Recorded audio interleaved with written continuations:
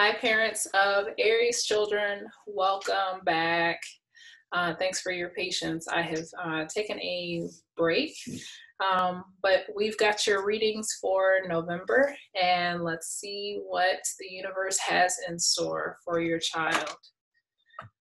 Okay, for the month of November.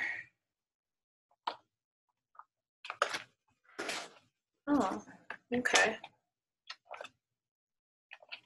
I can definitely see some awakenings. And whatever is involving you, I would like to say has to deal with matters of the heart. So I feel like your Aries child, for those of who this resonates with, um, there is some kind of like deep spiritual healing, emotional. I feel like there is some kind of emotional healing that is taking place with your child. They have the pearl card in the upright that they're connecting with the divine for November. And I, I really see um, some a level of contemplation, a level of thinking about the past, what has transpired, um, learning lessons from the past to make better decisions for the future just it's it's like a reset button almost like i get the sense of like happy new year. Like just let's let's do this over they've learned something they're processing it and they're using that information to make better choices. There is definitely some mending going on. Um, it could be a relationship. I really feel that it's uh, a belief system within themselves. They're looking at something from a different perspective.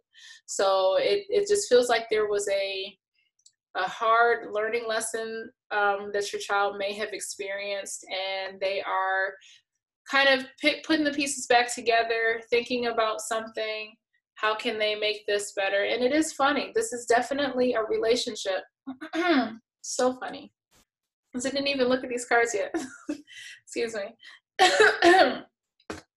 so, what could be changing is a, a relationship dynamic with your child. Um, if they're older, I see their perspective on the relationship is changing. Maybe they're seeing this person differently. Maybe they, your child may uh, distance themselves from this relationship. It could be a peer. It could be, it's, I really feel obviously that it's a close connection. It could be like a, an uncle or a cousin or a grandfather figure, somebody that meant a lot to them and they may have felt like they're it's an essence of like a trust was betrayed or they learned something about this person that now they have to see them in a different light. So your child may or may not feel let down by this individual, and that's caused them to change uh, how they relate to that person. But there's some kind of um, a re- relationship dynamic that's changing. Um, I don't want to elaborate too much on that. There's always new stuff and more details that can come up with these readings, but I try to keep them as short and sweet to the point. And if you guys want more information, just reach out to me. So the solution is, uh, nice, sign from heaven. So I feel like there's going to be some kind of messages, some reassurance that comes in for your Aries child in November that helps them to process what has transpired.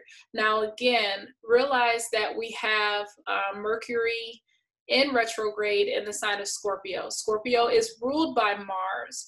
Uh, Scorpio is a very emotional sign that has to deal with, um, and I'm like, before I forget, let me turn off the volume on my cell phone so I do not get notifications. Anyway, um, it's it's I feel like there's some kind of emotional uh, lesson, struggle, pull that may come up for your child in the month of November that is divine and it's they're going to get signs from heaven as far as the answer. It says your loved ones in spirit are waving hello and giving you reassurance that you'll be all right. So I don't know what this pertains to. I really feel that it is family.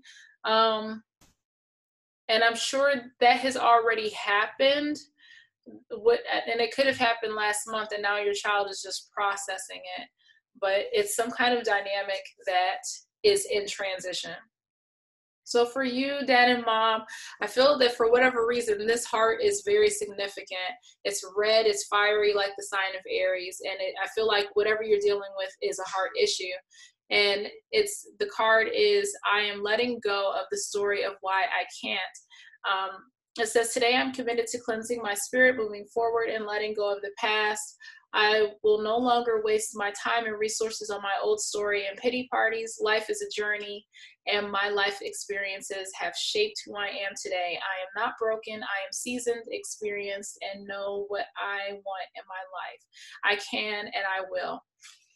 There's some limitation that you have allowed yourself to hold back. I feel like it could be a close knit connection that you've had or some kind of behavioral pattern that you've just been locked into that has possibly affected how you connect with other human beings.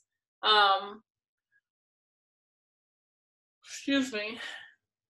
And that has limited your ability to either have healthy relationships, healthy connections with people, help helping you to understand um, people in a better light. But I feel that you are looking at your own heart, assessing your responsibility in your how things have played out, and you are choosing to do things differently and letting go of of what you have allowed what limitations you put on yourself okay so that is what i have for you all for the month of november Ah, thanks for being here. Sorry it's taken me so long to get um, these done. Um, but you guys are always in my thoughts. And well, let me be honest. I think of you regularly, often. I wouldn't say always, but um, you guys are on my in my mind um, as far as getting these done and making sure that you guys have um, what you need. So thank you for um, tuning into this channel and we'll see you guys next month.